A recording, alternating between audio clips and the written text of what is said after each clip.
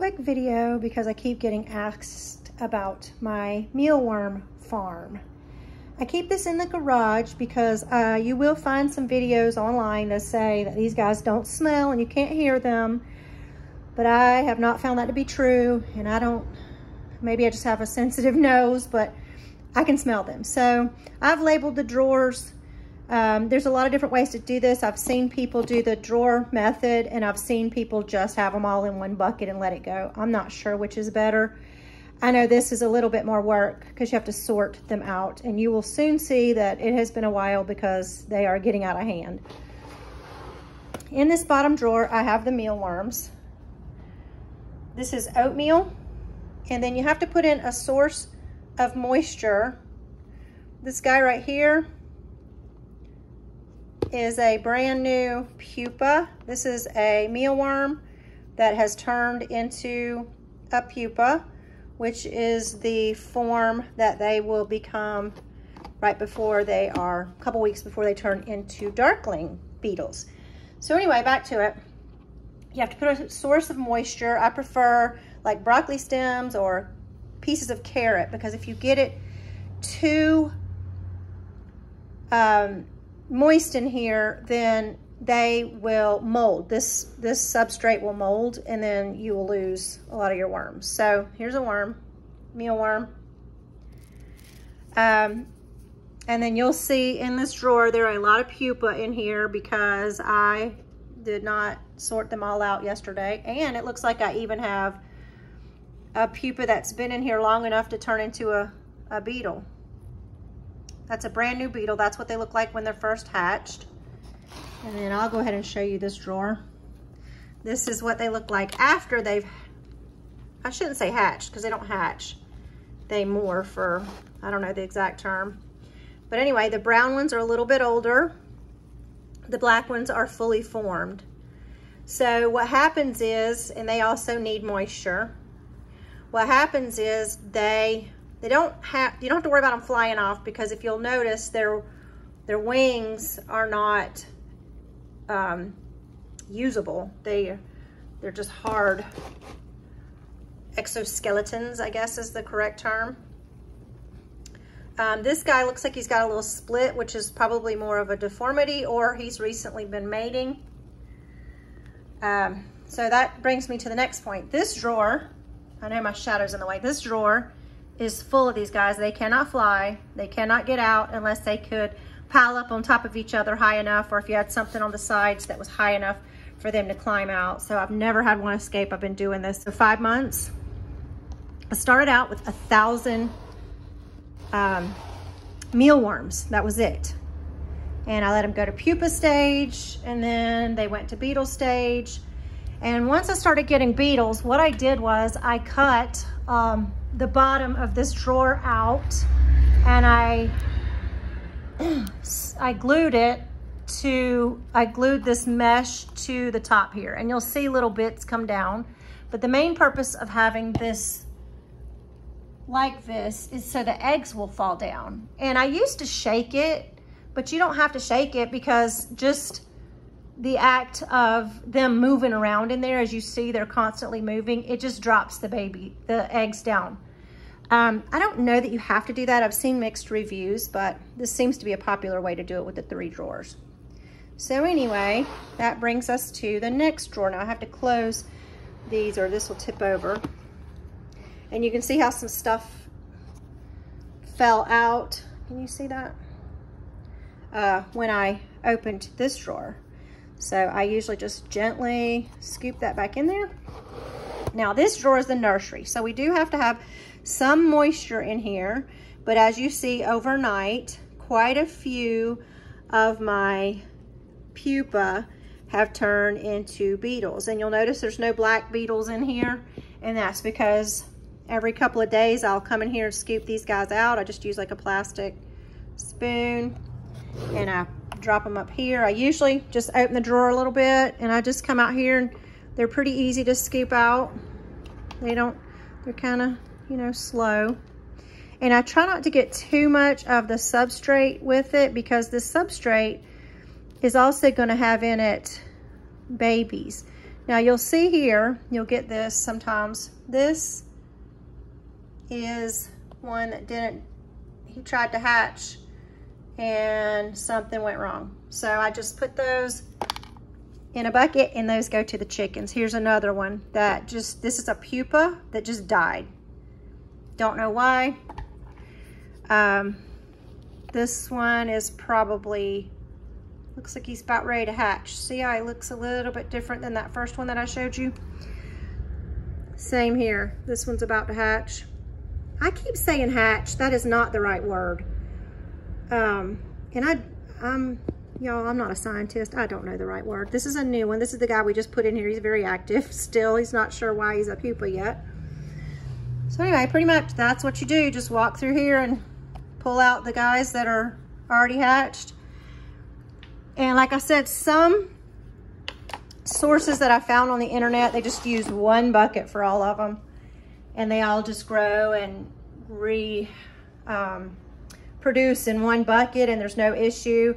I think once you get to this level where you have way more than you, I started out with a thousand. it's definitely way more than that. Oh, but what I wanted to show you is what I do here is I feed these to my chickens. And they like to hide back here because it's darker. So I usually just scoop them out. You can see how many there are. I wanted to show you when you scoop underneath the substrate you can see them. Well, if I held the camera right, you could see how they, they're all over the place here. See, this is poop, which would be, is good in the garden, but you don't want to put that in directly. Oh, that brings me to another point. So when I clean these out, after this substrate has turned into all poop, I clean these out, I put them in a bucket or a separate tray, still with oxygen able to get to them. And I leave it for about a month and the reason you do that, there could be eggs in here that slipped through or there could, maybe not this drawer, but definitely this drawer. When I was editing this, I realized I lost my train of thought. So I came back out here to show y'all. Um, I started talking about their poop and let's see if I can get some more up here. Their poop. So the reason that I don't just discard this as soon as I clean this drawer which honestly you should only have to clean this substrate out once it has turned into so much of that poop that you've got more poop than you do uh, worms. But what I wanted to say about that um, is that this, when you do clean this out, don't immediately throw it away. Put it in a separate bucket and let it sit or, or tray and let it sit for a month so that if there are any little uh, babies or eggs that hatch in it, you can then sift that poop out and then you will have all your babies that would have hatched. They would still be in your strainer. They'd be big enough to be in your strainer after I'd say a month. And then you would just put them in this drawer to continue to grow. Um, which you see that the substrate is not near as high in this drawer as it is in this drawer. I don't know if you can tell. There's a lot more down here.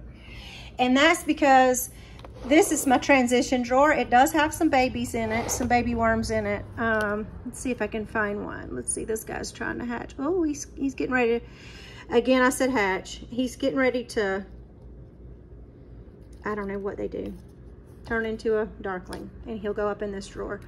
See if I can find any little babies in here to show you what I'm talking about. They're so extraordinarily tiny that you'll rarely ever even get to see one. We may not see one. There you go. See the little babies moving in there? There's one right there, right there. There's one right there. They're very small. So anyway, you don't need as much um, substrate in here. And this is oatmeal. This is just oatmeal. Cheap, whatever you can get oatmeal. Some people use bran. Some people use, I don't know, all kinds of stuff like that. Cat food, dog food. Anyway, what I was going to say is, and I can't do this very easily, so forgive me give, getting you a worm close up here. I pull this drawer out usually. Um, and I do go through and pull out the dead ones. You can tell they're dead because they're black. You know, they should never be black until they turn into a beetle. But you see how they congregate towards the back. So generally what I do is I'll just get a scoop and I'll put it in the, this will go to the chickens. I'll just get two or three scoops. Yeah, I used to worry about having pupa in there too, but I've got so many now that I don't have to worry about it anymore. So I just give that that's to my chickens, which gives them good natural protein. And that's why you do this, right? Good natural protein. So, and I use plastic spoon because it seems to do the least damage to these guys um, when you're stirring. But again, not an expert, just experience through trial and error. And oh, how often do I feed them? I come in here, I change this out about twice a week. Take this out. I don't have any in here to show because I just did it yesterday.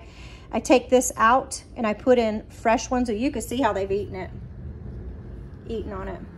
But it'll start to get dry and uh, you better tell. But yeah, about once, about twice a week, I change that out.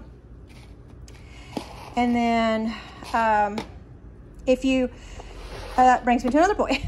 so sometimes we have to go out of town for something and we'll be gone for quite a few days and I don't want them to starve to death while I'm gone or run out of moisture. You can put them in the refrigerator and that slows their metabolism down.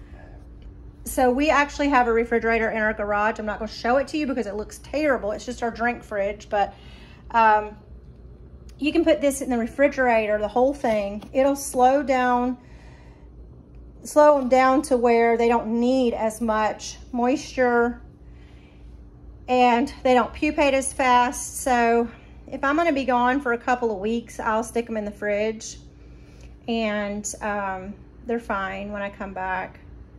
You could slow them down if they were growing too fast by doing that too, or if you weren't able to get to feed, if you were sick and you weren't able to feed them or something.